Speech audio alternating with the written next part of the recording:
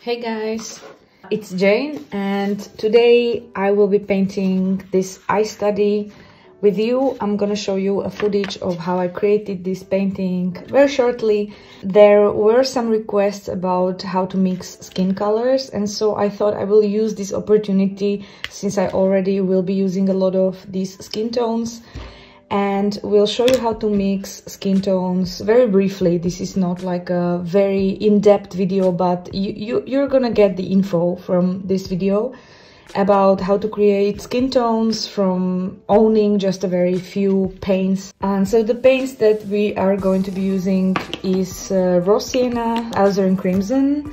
We will also need van dyke brown. This will be like the first three very important colors and i'm also gonna use neutral tint and then very important for me is a cerulean blue and you probably have ultramarine blue because, because that's oftentimes contained in any beginner's palettes. If you have uh, ultramarine blue and you have Van Dyke brown or any other type of brown that is dark enough, then you can mix these two into something very similar to neutral tint and in that case you won't need neutral tint. So these are the colors that you need. You don't need all of them. You definitely need these two and some kind of blue at least. And I would recommend the brown as well. And we'll get to the mixing.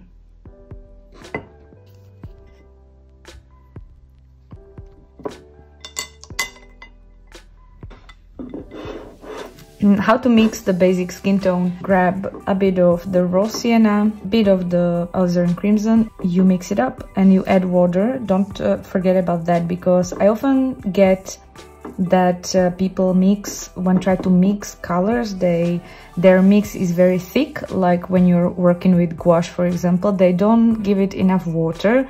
So the paint can't really shine because these are transparent pigments. If you apply them to paper, then it will cause these two paints and the mix to merge with the white of the paper visually. And this is the final color. It's it's also the reason why we use white palettes for mixing so that we can see. And why is it important to use transparent pigments well you you don't have to use transparent pigments but it depends on what's the type of technique that you are going for with your watercolors. For example i if i want to do something more detailed such as the eye then i'm gonna do more layers. I'm gonna apply layer after layer and I need transparent watercolor for that because opaque watercolor will cover everything and will cover the white underneath and so the illusion is a bit uh, different than when you use transparent watercolors. Sometimes I don't use transparent watercolors if I do illustrations and I want to have a face finished within two or three layers. In that case, I prefer the pre-mixed Naples Yellow Reddish that I already showed you in my art supplies haul video. And this is a opaque paint. It contains uh, white pigment. Want me to show it to you? and compare these two. See it is very different and you can see that this has other than the consistency it uh, it definitely covers up a lot of the paper and the visual effect is very different. And if i was to do my layering technique using this kind of paint uh, with the white pigment in it then one of my layers would cover all my previous layers and the visual effect that i'm going for with the layering would not be so visible I hope this makes sense. When you're mixing your own skin tones, you can make them more rosy, something like this. You can also mix in a little more uh, raw to create a different and more yellowish kind of skin tone. So what I love about mixing is that you can really play with the amount of uh, particular pigment and make it your own.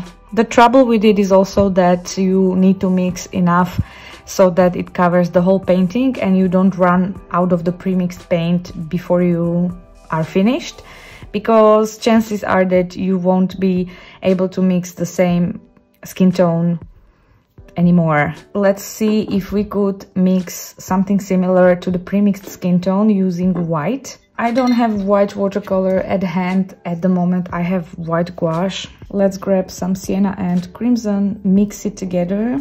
Like this would have been the version. It still contains too much sienna. Now it's the other way around. Let's try to mix in some white, just a little bit. Okay, we're, see, we're getting closer to the pre-mixed skin tone.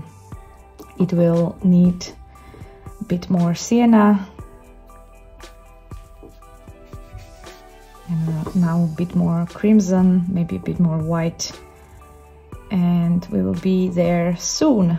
We're getting there. We'll still a bit more on the rosier side, but an exercise such as this one will certainly give you something. See, we're almost there. So it works like this, when you buy a premixed skin tone, you have to know that it contains the white pigment and that it will make your paint automatically a little more opaque than mixing it your own. So if you are going for the layering technique, uh, such as I will present in this video, then you should try these two paints and really look for the transparent versions. We know now how to mix the basic skin tone. Now let's discuss how to create much darker and deeper skin tones. Well, mm, I always mix both of these colors, the yellows and the reds together as a basis for darker skin tones and then mix the Van Dyke brown into the pre-mixed paint. And here are much darker skin tones that will always contain the, the bases. The more Van Dyke brown you add, the, the deeper and the darker the skin tone will be.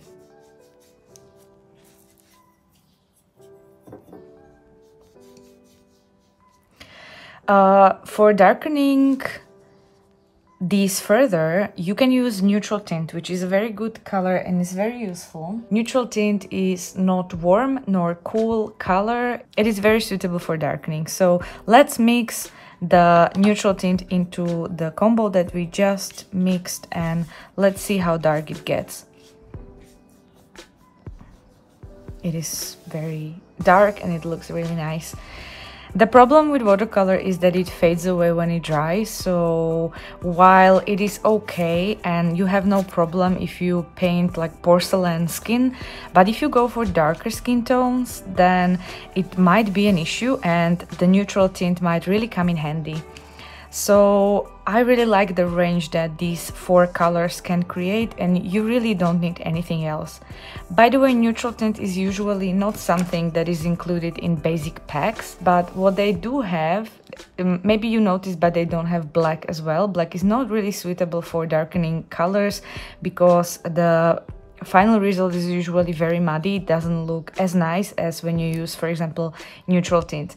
But what you can do is to mix your own version of neutral tint by using the dark brown and one color that you do have on your palette and that is ultramarine blue. Let's see what happens. You probably have ultramarine blue. It's like the basic blue that you have on every beginner's palette and let's mix it up a bit of the Van Dyke brown now I'm trying to, when mixing, I'm trying to find the middle. It's not 50-50. I'm trying to just see if the final result is not too blue but not too brown either. And the resulting color looks like this. It is a version, it is a very good version of black.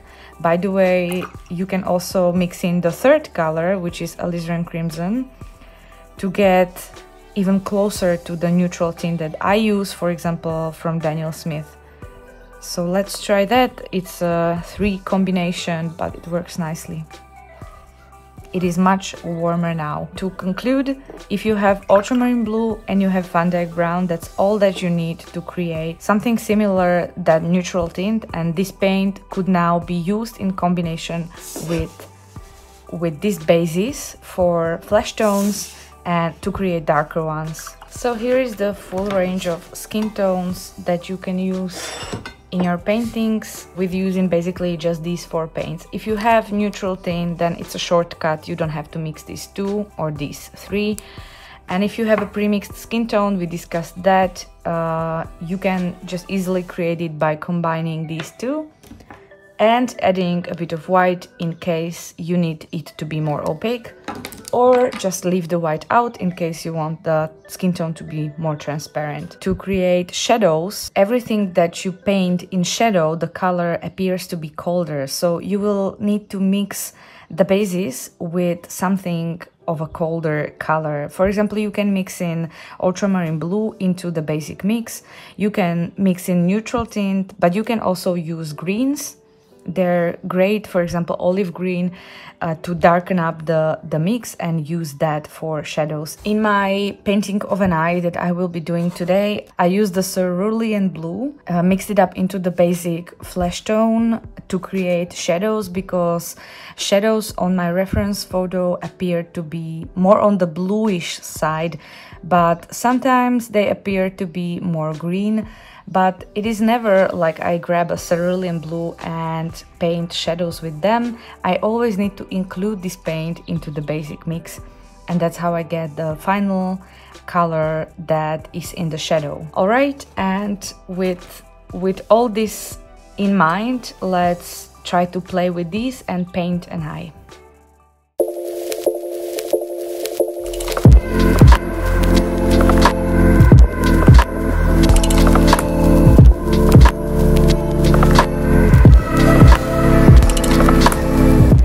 I created a sketch on a regular scrap piece of paper and then transferred it onto my Arches 300 GSM cold pressed watercolor paper using a window. I didn't have a light table at hand at home. The dimensions of this painting are about 25 by 25 centimeters. And then I started with the first layer of paint, which was basic skin tone, and I used a lot of wet in wet.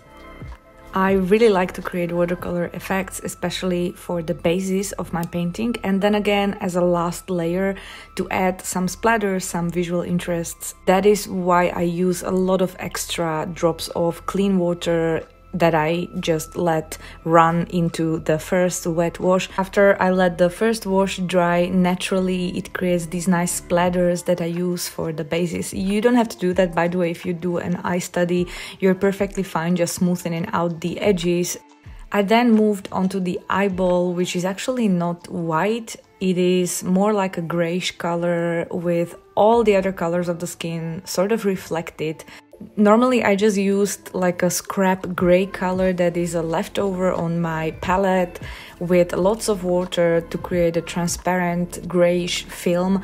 But if you have a clean palette a new one and you need to know how to mix it there is always some skin tone present in it but also just add a cerulean blue ultramarine blue or a bit of purple and you'll get there just don't forget to use it in a very very light and transparent wash it is probably a good idea to use a good reference picture uh, if you are painting a detailed study of anything.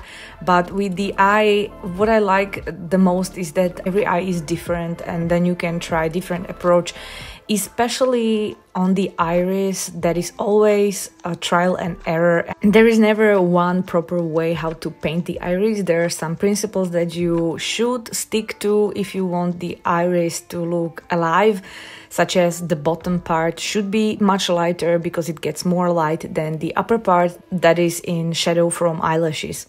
By the way, I took the reference picture myself and it is of the eye of my 11 years old daughter and the light source is basically coming from the left and that affected all the shadows that I placed on this eye. So make sure that if you are painting an eye study you don't exactly follow one or the other tutorial. You just check where the shadows are particularly in the reference that you are painting and just try to apply the proper color and mix it just like we discussed in the first part I mentioned that my work on the iris is always trial and error, and I painted a lot of eye studies in the past, and never did I paint iris the same way or followed any kind of rule or specific approach that I would recommend to you is just observe the reference and try to mimic it in a painting. Other than the paints that we discussed in the first part, I used one specific paint. I already talked about it in my art supplies video haul and it is Potter's Pink.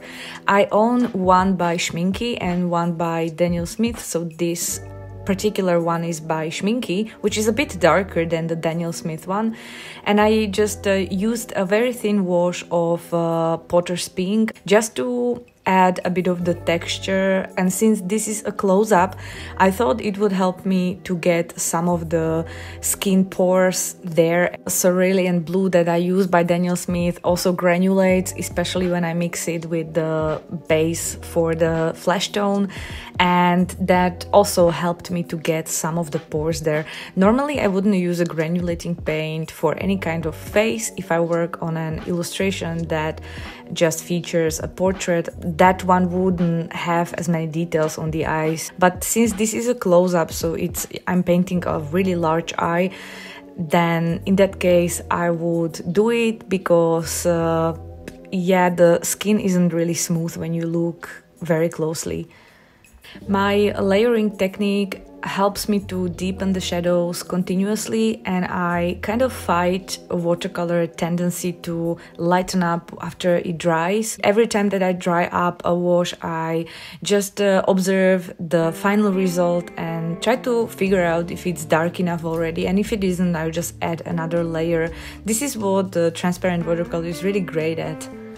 This technique is really excellent and you have good control over what you are creating with watercolor because there is not as much water on the paper at once but you need to just have patience because it takes a long time to finish and it's good to have a hair dryer or some kind of tool that would help you to dry your layers quickly at hand. I found a reliable brush that I don't, it doesn't have any brand, it's just a cheap, very thin brush with stiff and very bad quality bristles that I used to draw with my paint uh, the, the tiny details such as veins. If you are drawing veins on your eye study, just make sure that they are not insanely red. Just a hint of uh, alizarin crimson will do the trick so that the eye doesn't look like it didn't sleep for 48 hours. Probably the hardest part is always drawing lashes or eyebrows. With lashes, I have a strategy. I always try to draw them first in light paint. They grow in groups, but they have a general direction to them. It is a mistake and it looks weird if they are too short or if they're too long. So just draw them lightly, draw a couple of them, uh, try to figure out how long they are, and then you will get darker paint and you will go over the ones that were successful. Here, the last part is here and those are the white highlights that are so incredibly satisfying to draw or paint. I use white gouache. I think that that's the perfect uh, white, opaque white to combine with watercolor. I might talk about it in another video and I just draw them where I see them in my reference. You can also design the highlights, you don't have to mindlessly copy or whatever reflection you have on your randomly taken reference. And that's what I try to do. Maybe I overworked it. That's up to you to judge, maybe. Here comes the point when whatever I add will just make the painting look more cluttered. So it's a good idea to maybe just quit after I'm done with painting, usually I take a picture of it on my phone and then transfer it to my Mac and see. On the screen it is more objective for me to see if there are still any mistakes if the color values are okay. And if i'm not happy i will maybe add something that is missing. And if i'm happy then i will just take a picture and i'm done. I want to thank you guys for watching and i also want to ask you if you enjoyed this tiny little watercolor lesson. If you did, let me know in the comments and give me a thumbs up, that always helps the video. And I'm taking requests if you have something specific that you would like me to make a video about. Turns out that your suggestions are very helpful to the rest of the people that watch these videos. And with that, have a great weekend. I'll see you next week, hopefully. Bye bye.